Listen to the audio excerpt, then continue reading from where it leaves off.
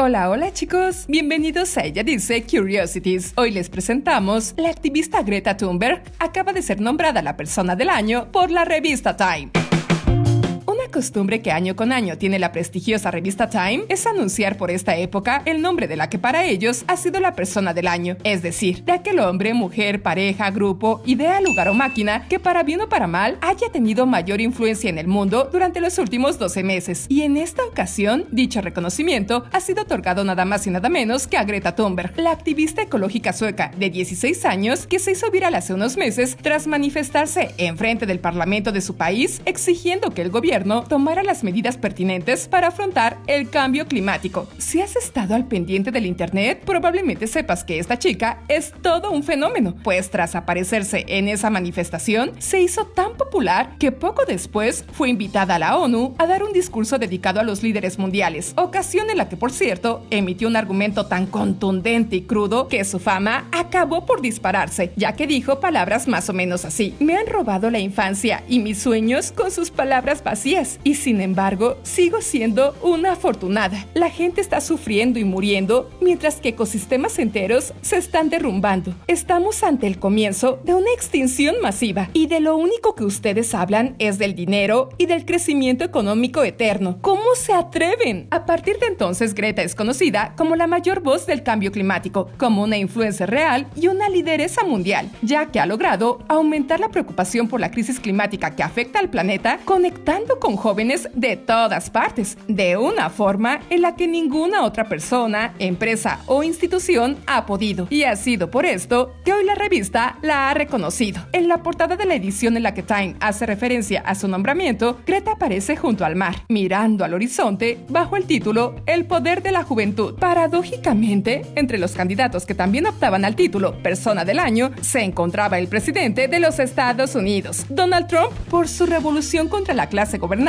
y su creciente influencia en el acontecer mundial. ¡Qué loco, ¿no? Si te gustó nuestro video, compártelo, suscríbete y dale like. Yo soy Liz. Hasta la próxima.